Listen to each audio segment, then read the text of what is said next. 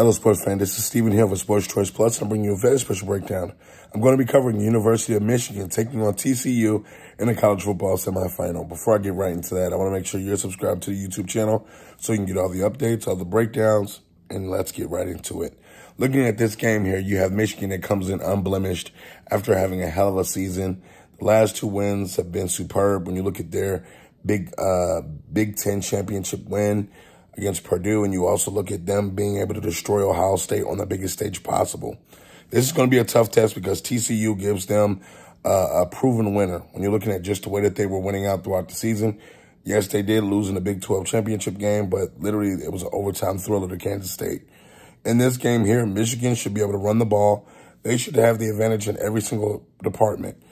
Michigan does struggle a little bit with quarterbacks that can run. Um, TCU definitely has a quarterback that can run.